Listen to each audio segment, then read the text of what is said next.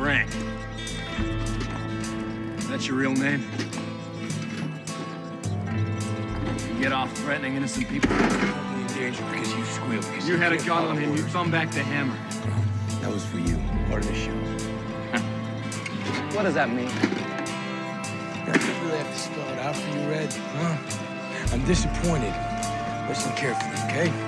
You listening? Yeah? How about now? You listening? Feel it?